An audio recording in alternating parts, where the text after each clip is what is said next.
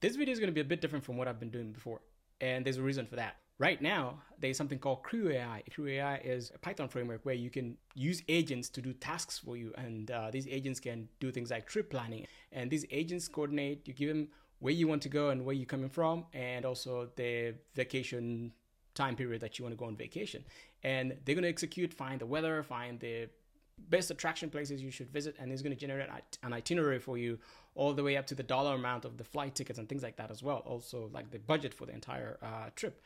And I had done this before, and I did a very quick screen recording and I posted on on Twitter, and people really enjoyed it. And uh, I did that using Streamlit as the front end because CrewAI uh, at the moment there's no like straight UI uh, for it that you can use. So I ended up building one with Streamlit. The main issue with that was the agents take a while to run and generate these responses because they have to go back and forth, search, generate, pass it to the LLM, give their responses, and you know, they're just kind of collaborating to get you the best itinerary as possible, right?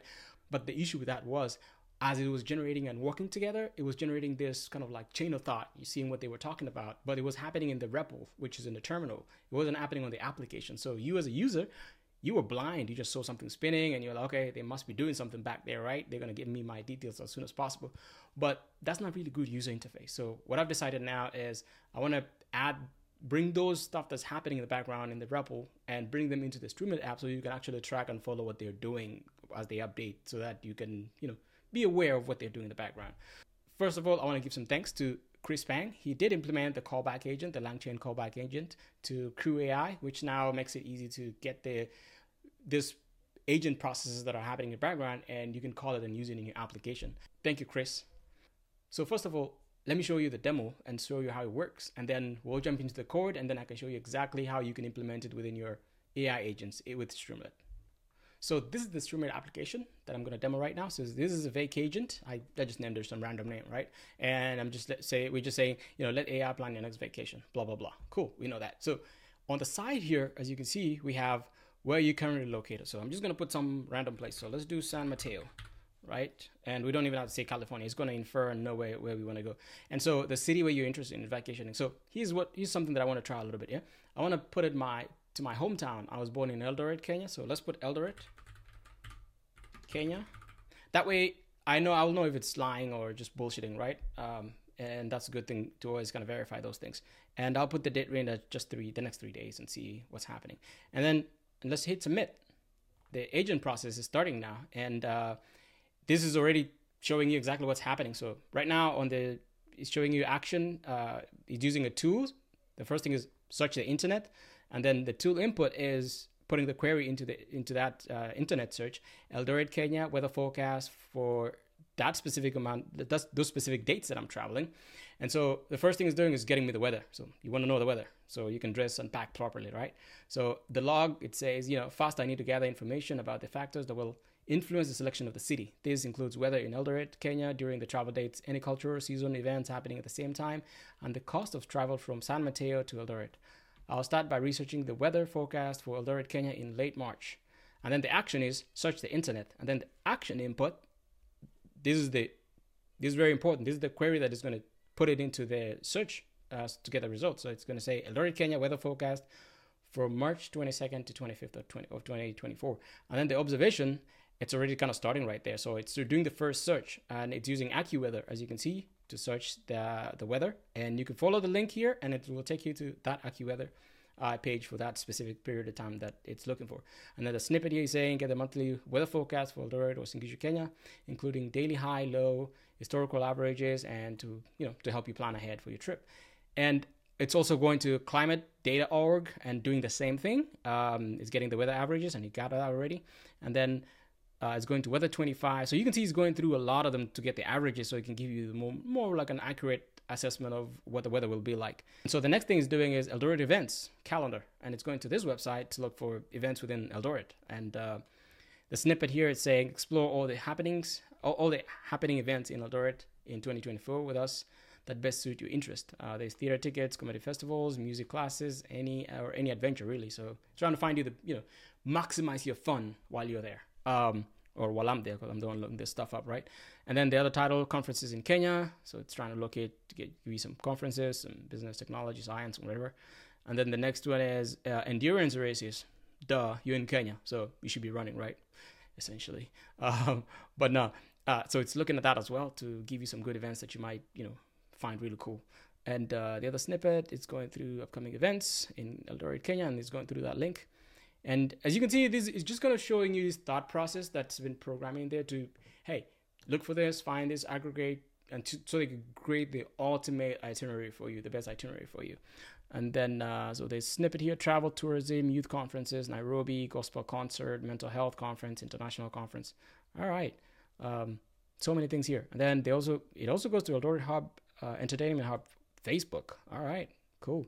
Also going to some of the uh, media outlets. There's a standard media uh, publication there. It's looking for some things they're publishing on there about Eldoret. Um, ASK, that's ASK, that's a showground thing, agricultural. All right. Yeah, it's thinking, saying, yeah, maybe I should refine, you know, to get more results. But as you can see, oh, boom, it's done. So, first of all, for example, if we didn't have this uh, events happening and showing up on the application, you would just you probably would have just seen a you know spinner spinning on the on the page and you don't know what's happening really. You're just like, okay, let me just wait, and it could have taken that a long time, and uh, you would have waited and, and finally got this. Maybe moved out of this page, go to another page, go do something else. But see, I fell for it as well. I was very engaged that I forgot that this thing was running until I just it just popped up on the, on the screen that it finished. Uh, I didn't feel the time going because it, it moves so fast because I'm seeing, I'm interacting, I'm seeing what it, what it's thinking, what it's doing. But as you can see, it went and found a whole lot of stuff, tickets, flights, everything, and then it aggregated all these results that you're seeing in here.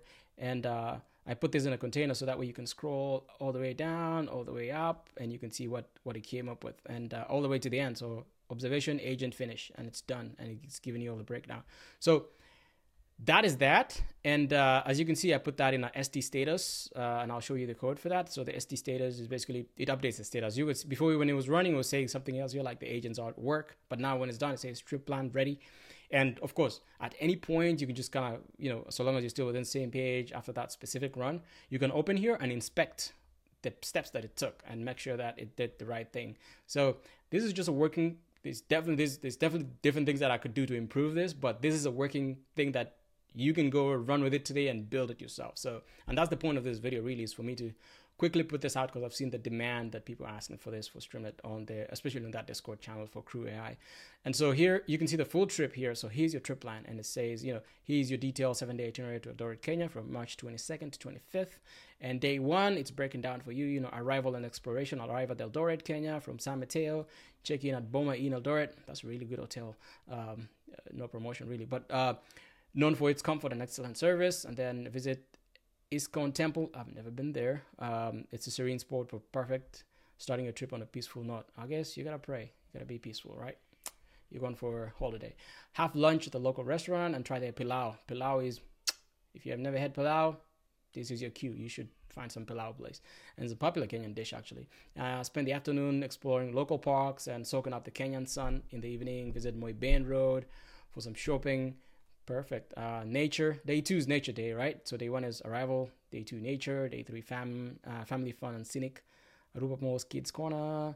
Let's just go through this. Chepkiit for the waterfall. All right. There's all the best sea tours and travel for thrilling adventure. Enjoy dinner at local restaurants. Okay. So I just want to see instances where he's naming some specific stuff. So um, here saying visit Rift Valley in the afternoon for an amazing view. Yeah, there's career career views. It's amazing. You can just see the Rift Valley.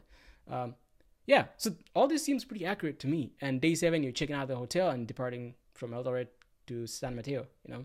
And uh, the packing suggestions that it's given us here consider the weather forecast with temperatures ranging 55 to 80 degrees Fahrenheit and uh, potential rain, pack light clothing for warm weather, a good pair of walking shoes, raincoat or umbrella, sun protection like hats, sunscreen, a camera, essentials like toiletries, medication. Okay, so breakdown flight cost 1413 that's pretty standard. It's pretty accurate. All right, accommodation Boma Inn for seven nights, uh, seven hundred bucks. Yeah, pretty much accurate right there. About hundred bucks a day. Yeah, and then meals per day uh, for seven days, six hundred uh. Man, that must be some nice meals. That's a bit expensive for Kenya, but anyway, you you're in Boma Inn, so it makes sense. Hey, um, and inflation too. So I haven't been there in a while. But activities and shopping, two hundred fifty. Yeah, so you probably want to buy some uh, some of those ornaments, uh, carvings, and wrist uh, stuff. But anyway, So the total for your budget here is saying uh, 3,039 and 52 cents all the way to the cents. Come on. But anyway, that's pretty good. Like you can see, this is a good rubric. It's not like the perfect itinerary that you can ever find out there, probably, but it's a good starting point, right? It gives you ideas of what you might maybe should consider. And then uh, at the end, it says, you know, enjoy your trip. Uh, it's a rich, it's a city rich in culture and scenic beauty, and uh, this itinerary ensures that you experience it all. Um, I don't know if it mentioned, it didn't mention anything about running. Probably did probably somewhere in there. But anyway, the main piece that I really wanted to show you today was this part because I know a lot of people struggle trying to implement this. So I want to show you the code now, how you can do this, this magic right here. It's not really magic at this point, but uh, show you how this, you can implement this part. So let's get to the code. All right. So this is the code that I implemented. So like I like I mentioned to you, right? Uh, Chris Pang did uh, submit the changes that was needed uh, to do the callback onto the CrewAI uh, especially on the latest that was merged on the latest release, if I'm not wrong. So on the latest release, it should have that taken care of, and we can just take a look at it real quick. So if you go to the agents, he did implement that. So he added this base callback handler from LangChain uh, that you can use from LangChain uh, to send those messages to the front, so the application can uh, you can use it however you want on the application. And so he added that, and he added a bunch of other stuff in here as well. Um, not it's not too much, but it's uh it's it's a good amount to make it work, and that's the thing. You want a working uh, app in in this case. So again, thank you, Chris. And so you don't need to worry about this part. The part that you are interested in and probably watching this video for is how do I implement it within my app? And the biggest part that where you want to implement this is within trip agents. So within your trip agents, you have to create a callback handler right here. So I used a Streamlit callback. I just named it. I just named it Streamlit callback, and you can name it whatever you want to name it, right? And so within this trip agents, this is where you're lining up all your agents. You have a city selection agent, you have local expert, you have a travel concierge, and all these agents you can imagine as these are different individual people. Think of them as people, right? You have a travel concierge. This is a, the expert in concierge for example, for Eldoret, for example, right? And then you have another uh, city selection agent. This person is like the role is a city selection expert, and their goal is to select the best city based on weather, season, and prices. And uh, the backstory an expert in analyzing travel data to pick ideal destinations. That's their job. They're supposed to analyze data and pick the ideal destination for you. And they have some tools that they can use to do that, right? Because they're agents, they're not humans. So you give them a search tool and that's for searching the internet for them to go to the internet get you know search what they need get that information synthesize it and use it on the next uh, phase of it. And then they also have browser tools to scrape and summarize websites. So they can scrape summarize some websites to get the data for you because uh, the important thing is data here. And verbose true when we're doing step callback and we're calling that Streamlit callback handler. And this is the important piece. So i have this Streamlit callback handler, right? And what I'm doing here, I'm passing it, uh, this function is going to take the step output, and the step output is going to come from uh, whatever the agents are working on and the results that are streaming in, uh, or the interactions, what's happening in the background, really. So what we're doing here, once we get that, uh, we're iterating through that, whatever the agent is saying or thinking or uh, information that they're gathering. We're iterating through all those outputs that's coming in from the agent, and uh, we find the tuple. There's, it might come as a tuple. So we find a step, and uh, if, if it's a tuple, um, we split into action and observation, and for that, and then if the instance of action, the action that it's trying to take, if it's a dictionary, and uh, there's a tool within that dictionary as well, and uh, also uh, if there's a tool input and there's log, those are like it's a dictionary, and those are within that dictionary. What you want to do, you want to pull out the or grab the action and within that action you get the tool uh, so first of all so so in this case if the instance uh, action is a dictionary you want to get tool tool input and log from that dictionary and then basically we're taking everything from that dictionary we're taking the key and then we're matching with the value and displaying it on the screen basically so we'll take the for example here the tool and we'll add that with uh, or concatenate that with the um, action of that tool. So in this case, for example, you know you have action. If it's action, uh, we get uh, the search internet, and that's the tool, right? We get the search search the internet, and then just like that to make it look like almost close enough to this so that way you can read as a human. Because if we don't parse it like this the output that we're getting from these agents is going to look very jumbled up and you can't read it. It's just a whole bunch of uh, dictionaries and everything's just everywhere. It's really hard to read when it's coming on the screen. And you want something a bit legible that you can read your eyes can follow pretty well. So this is what i'm doing basically in all this. I'm just kind of passing through or parsing through that uh, data that we're getting from the from the agent steps. And we're just kind of going through it and organizing it a way that it's readable. Uh, and as you saw in that application that we just ran uh, it's more readable. You can follow along with it. And this is basically what i'm doing with all this uh, all the way down here. And uh, once this is done um, i'm using that stream callback within this each agent. I'm just passing that to each agent so that each agent has it. And that's all you're doing within this trip agents file. And then I'm saving that. And then when we go to the main application, which is Streamlit app, you don't really have to add anything here because you already imported the trip agents and you've already imported uh, trip tasks. So within trip agents, you've imported everything and it's going to include all this stuff that we've uh, we've added here, the callback handler. And so the next thing you want to do, you come down here. Uh, what I did down here, the only thing that changed here uh, on if submitted, what I'm doing is I'm using the ST status and ST status basically is that tab is showing you, hey, agents are running. And so, you know, and it's showing the status running and it's expanded. So that way the, it, it stays expanded while the agent's still working through it. And um, as well, I'm just uh, passing that as status so that I can use it down here again. When it's done, I'm just using it down here as ST status. I want to update now the the status con- uh, the status itself um, because it went from agents are working. I want to update it to trip plan ready. So when it ends, it shows that check mark and it shows trip plan ready and it's complete. And also the status container, since it was open when it was running, when it's done, it's closed. So here expanded is equals to false. So it closes that. So it's closed and you see what you actually, what your itinerary looks like because you don't want to see all that at least for now. But if you want to do it, you click on it and you can scroll through it and see all the uh, chain of thought what was happening underneath. And so this trip crew, um, just passing in the location, city, date range, and interest, uh, which was from the application itself when you were filling in uh, the location where you are and the cities where you're going, and also the date range that you want to visit, and also your interest. Probably you, maybe you like snorkeling, swimming, and it's going to consider that and also search for those. So you might you want to keep that in mind because that might take it a, a little more longer for the agent to finish running.